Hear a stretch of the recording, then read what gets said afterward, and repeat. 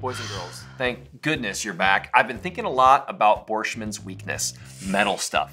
And I'm hoping all you trainees out there don't have that same weakness because I'm mm. looking around our training facility and we got, I mean, we got so much metal around here. We're never gonna meet Borschmann. Borschmann, you can't come near this place, bro. But you know it is coming near. It's a That Okay, wow. Um, that one blew in real quick. Hey guys, Mailstorm. If you have a question, have your parent help you, send it to mailstorm at gfczone.tv. Now, Miss Alex, this month in Mailstorm has probably been my favorite because we've been receiving not just questions, not just letters, but some drawings. Yes. Some really creative drawings of your own superheroes. And we've actually given it a name. We've called this segment Superhero Gallery. That was nice. Um, do you have some more drawings today?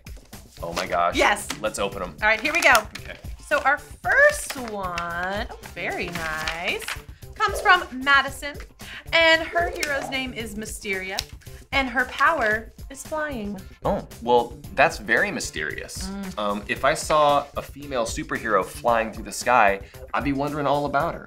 Where would you fly to, boys and girls, if you could fly anywhere? Hmm, what about you, Miss Alex? Um, maybe London, because I've got a good British accent. Do you think that they would appreciate your accent there? Yeah, I think they would. All right, well, let's see which, which, oh, this is, this is very good. Um, I'm very interested to see what this is all about. This is from Tucker. Tucker, thank you for your creative superhero. Um, this superhero's name is Man Man, uh, which I love. Are you ready for this superpower? Yeah. All the power of a 30 year old.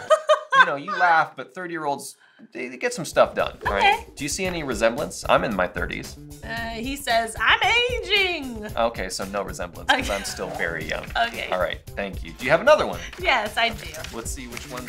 Oh, this is colorful. Ooh. This one is from Anna, Hi, Anna. and her superhero's name is Super Sweet. Super sweet. And her power, it says, any sweet you want, Super Sweet makes. Okay, so we've got basically a superhero vending machine here. Okay, you turn on the sweet signal, all right? Yeah, right She comes flying in, and then you're like, oh, thank goodness you're here.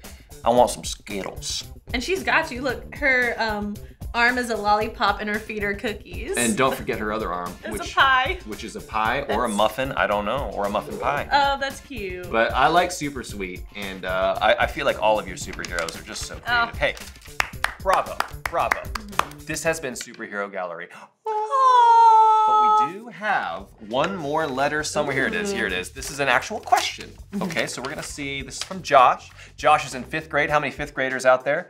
We love you guys. Uh, I think I need the Holy Spirit's help to understand the Bible. It's confusing.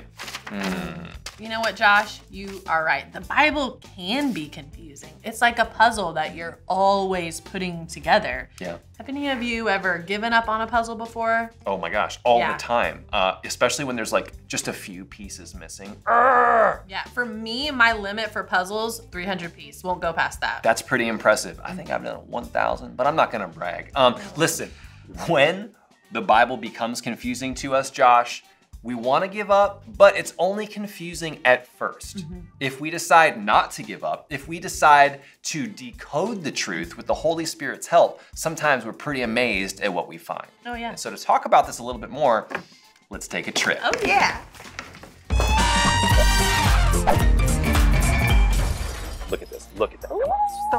With the la- we got the last one. Boys and girls, we got it. Issue number two. We got the last one on the shelf. I'm so excited. And we're reading it right now. We're gonna read it right now. Let's go. Come on, you're coming with us. Let's go.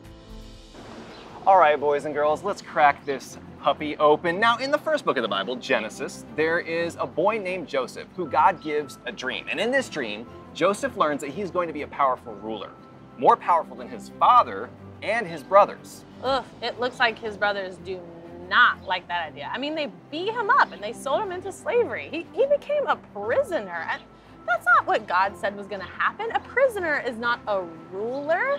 What's going on? This is confusing. I know, it's very confusing, but remember, we're not going to ignore God's words when they're confusing. Instead, we're going to use the Holy Spirit's help Yeah. to decode the truth. Now, even though things look bad for a while, see, mm-hmm. Joseph being a prisoner actually led to Joseph being a servant. which led to him being a helper, which led to him being a leader, which led to him being ruler over all the land of Egypt. Uh huh. So he actually did become more powerful than all his brothers. Yeah, you see how that works, boys and girls? So even though God's words didn't make sense for a very, very long time, they finally ended up being proven by the Holy Spirit as true. Now, like any good decoder, the Holy Spirit likes to take his time revealing the truth. This is super obvious when we look at a group of guys called the prophets, okay? These were ancient messengers of God.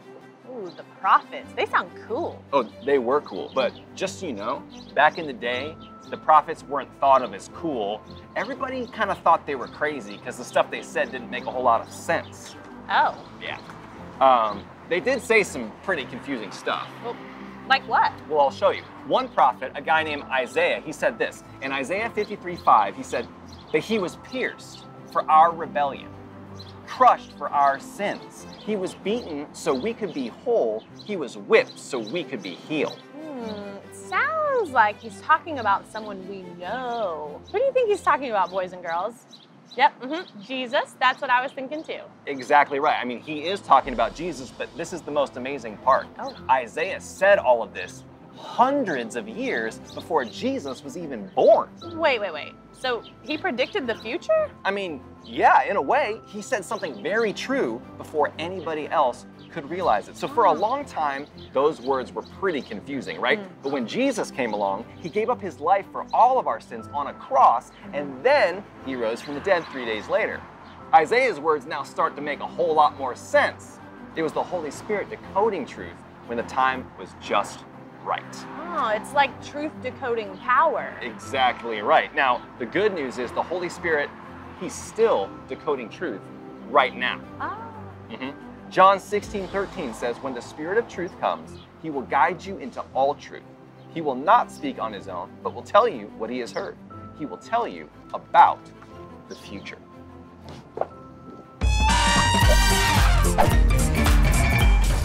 Whew. We are back. And you know, as we're listening to the Holy Spirit and learning from the Holy Spirit, sometimes it's a little confusing. Sometimes He starts to help us to understand. But if it is confusing, here's what we can do we can ask the Holy Spirit for help. Yeah. Because even when we're confused, the Holy Spirit can help us to start to see those puzzle pieces slowly come together. Yeah. So don't worry, Josh. Even though that the Bible can be a little hard to decode sometimes, stick with it. Don't give up. You know, Joseph, he went from prisoner to ruler. Isaiah, someone who everyone thought was crazy, to a messenger. Mm-hmm. So we just have to get through the confusion with truth. It's true. Remember our Bible table verse. Acts 1 8 says, But you will receive power when the Holy Spirit comes upon you, and you will be my witnesses, telling people about me everywhere.